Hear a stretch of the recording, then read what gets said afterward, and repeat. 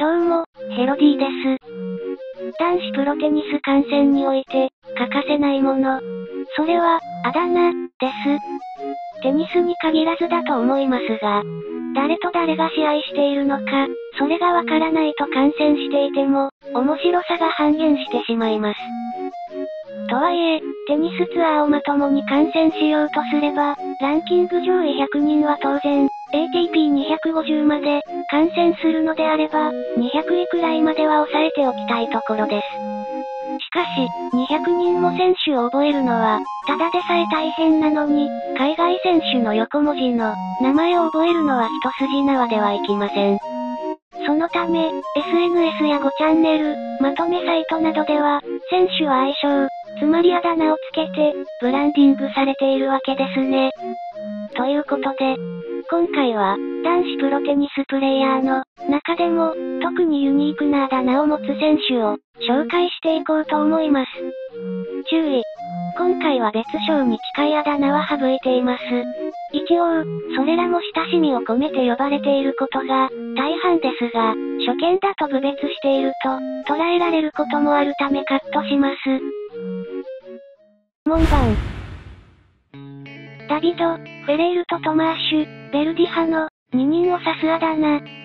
この二人は今回の動画で、唯一現役を引退しているのですが、あまりにも定着しすぎて、引退後もこのあだ名で呼ばれることが、多いため、特別に紹介します。あだ名の由来は、この二人がビッグ4全盛期に、トップ10中位の座を盤石のものとしていたことから、ビッグ4以下を常に圧倒し、ビッグ4にはかなわない。その構図が何年も続いたため、いつしかビッグ4に挑戦するために、倒さなければならないポジション的な意味合いを、込めて、門番、と呼ばれるようになりました。こう見るとネガティブな印象を、受けるあだ名ですが、これはひとえにビッグ4が、やばすぎただけであり、門番2人はそれぞれ6年連続トップ10とか、グランドスラム10大会連続ベスト8進出とかとんでもない実績残しており、別称というよりかは、いかにビッグ4時代がヤバかったのかを、象徴するあだ名なのです。劇場支配人。我らが西堀系のこと。あだ名の由来は、西堀の試合でよく見られる華麗な逆転劇、通称、西堀劇場、から、西堀は、皆さんご存知の通りフルセット勝率が、極端に高く、長い間フルセット勝率、現役1位になっていたこともありました。そのため、最後までどちらが勝つかわからない、ドキドキハラハラな試合をお届けすることから、そんな試合を、西堀劇場、西堀本人のことを、劇場支配人、と、呼ぶようになりました。肉、お肉、ラオ肉。ミロッシュ、ラオニッチのこと。西コリがツアーで活躍し始めた当初、西コリら有望な若手を、ヤングガンズ、として ATP が、売り出しており、その中でも西コリ、ラオニッチ、ディミトロフの3人は、ヤングガンズを代表する選手に、成長したため、ヤンガントリオとして西コリと、肩を並べる選手です。あだ名の由来は、ラオニッチの表記揺れ、ラオニック、から、ラオニック、ラオニク、お肉、肉、ですね。また、太りやすい体質なのか、休養明けは、ぽっちゃりしてしまうこともあだ名の、定着に一役買っています。豆腐、ディミ豆腐。グリゴール、ディミトロフのこと。西堀、ラオニッチと共にアンガントリオの、一角を担っています。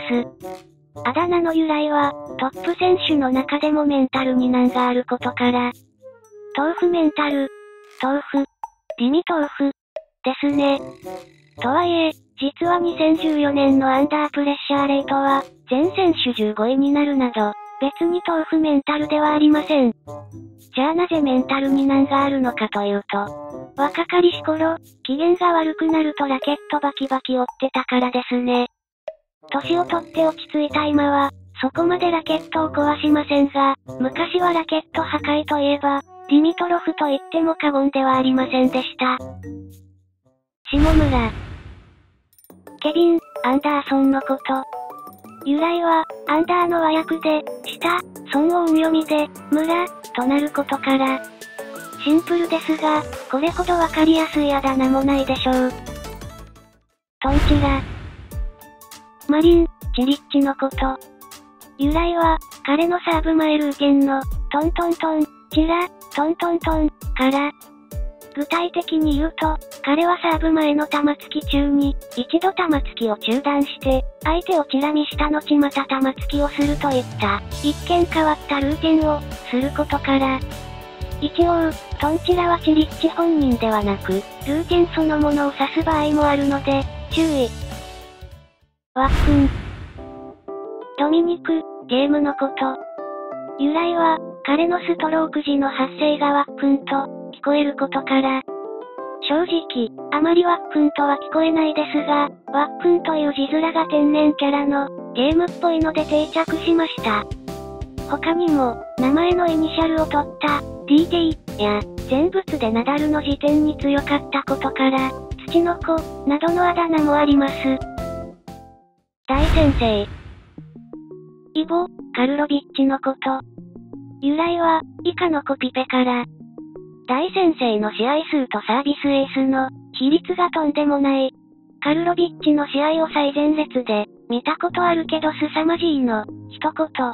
ビッグサーバーは結構嫌われる傾向にあるけど、大先生の試合は全てを超越して芸術的ですらある。まず、ラケットがしゃもじにしか見えない。普通の選手がサーブを打つとバコーンなのだが、大先生はブアグオーンという音がする。ボールの軌道を全く目で、追えず、気がついたらバックネットの壁に、ボールが転がっている。レシーバーがなんとか返したと、思ったら何と約3部で、ネットにつき、次の瞬間にはボレーを、決めている。そして俺が見たその試合は、30本以上のタッチエースを、決めた挙句負けた。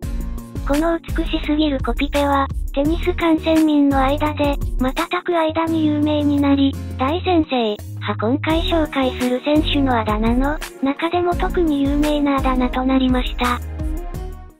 アナ、アナズボ、アレクサンダー、ズボレフ。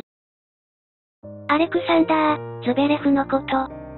由来は、2019年から2020年にかけて、トップ選手ではほとんど見られない重度のサーブイップスに陥ってしまったことから、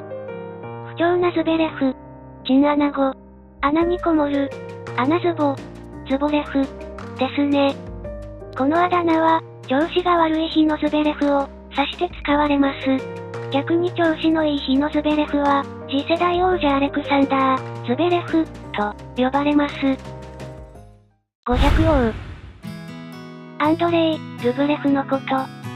由来は、ルブレフが ATP500 で、無類の強さを見せることから。ルブレフは、2020年から2021年にかけて、ATP500 を4大会連続優勝しており、ATP500 での連勝記録23は、フェデラーの28連勝に、次ぐ歴代2位の記録になっています。過去には、500王はマルテン、クリザンに、対して使われたあだ名でしたが、クリザンがツアーから離れ、ルブレフがクリザン以上のインパクトを残したので、今では500王といえば、ルブレフを指します。おじさん、テニオジ、フェデオジ、ロジャー、フェデラーのこと。由来は、フェデラーがおじさんだから。ツアーの中には、フェデラーより年上だったり、同い年の選手もいるんですが、おじさんといえばフェデラーです。テニスするおじさん、略してテニおじ。こんな雑なあだ名でも唯一無二にしてしまえるのは、さすがフェデラーと言わざるを得ません。ということで、テニス選手のあだ名を紹介してきましたがいかがだったでしょうか他にもたくさんのあだ名があるんですが、今回は、身体的特徴を、いじった感じのあだ名や、若干小馬鹿にしたようなあだ名は抜いておきました。しかしながら、悪意を持ってそう呼んでる人は少数なので、入れるか迷いましたけどね。やっぱり、観戦、実況するときはあだ名で、読んだ方が盛り上がるんですよね。ということで、今回はここまでとします。ご視聴ありがとうございました。